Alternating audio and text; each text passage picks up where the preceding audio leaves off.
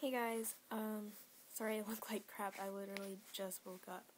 Um, so I was editing the video that I was going to upload for today, and, um, while I was editing it, I accidentally deleted the whole entire thing. So, now there is no video for today, and I'm really mad because it took forever, and, um, yeah, so someone dared me to do the salt and ice challenge, and so I did it, and uh, yeah. Um, so to make up for it, I will upload a video on Monday, so tomorrow, um, doing a different dare slash challenge or whatever, and then there will be one on Wednesday like always, and then hopefully by next week we'll have everything normal and it'll be on Sunday and Wednesday and stuff. Um, so I don't really have time right now to do another video because that video after I art after I edited a bunch of stuff out, it was still like 20 minutes long and it took forever to do everything and um yeah, I'm really busy today. So I'm just making this video real quick to tell you guys what's going on. And um I don't want to like redo it because since I already did it, it won't really be a surprise like what happens and stuff.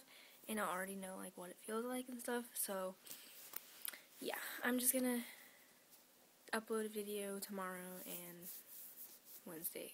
So I'm sorry. Uh, I'm really mad because yeah, I'm just really mad.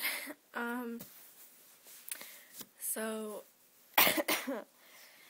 sorry. Um so please subscribe to my channel for more videos and comment if you have any dares or challenges that you want me to do or inbox me. Um and don't forget to check out Wattpad.com because I am writing my story right now. And so I'll tell you guys like when it is uploaded and stuff. But I'm really excited. And um also if you have an Instagram um you should follow me on Instagram at Izzyjo1 it's the same as my YouTube channel.